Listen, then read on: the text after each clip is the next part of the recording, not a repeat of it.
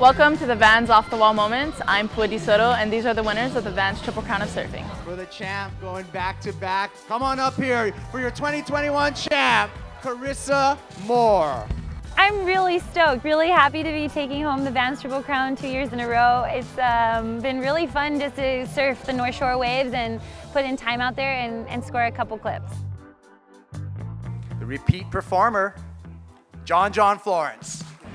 Feels awesome to win this event two years in a row. It's such a hard event, especially now that it's a month long and online, so it's pretty much anyone's game, it seems like, surfing all these waves. And with the amount of surf we've had lately, it's been super hard to keep up.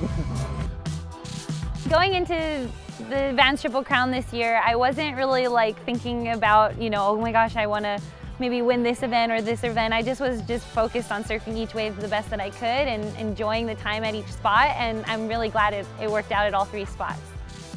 You always have think about the last event or the last year, and you always want to do better than you did before. And so it's it's hard though in these events because you just don't know what the waves are going to offer. Just try to take advantage of every moment we had out there, and lucky enough we had some pretty good waves this year.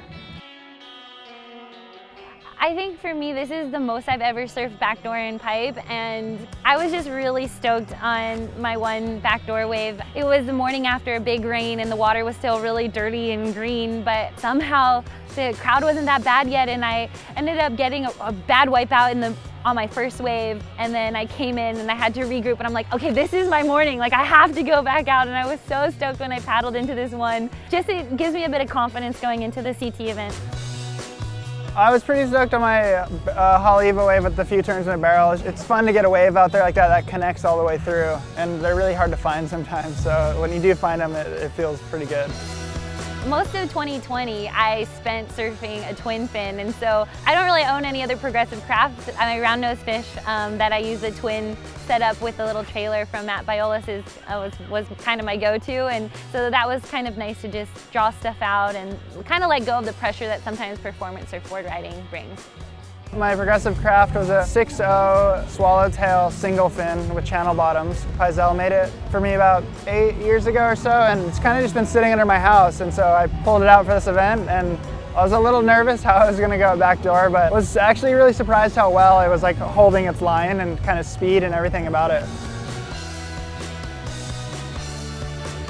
Just finished with the Vans Triple Crown and stoked to have this confidence boost going into the year. Thank you to Vans and the community and everyone around for putting this event on. It's been awesome to see everyone surfing and to be a part of it. Thank you for watching. I hope you guys enjoyed the show. Thank you Vans for the amazing event.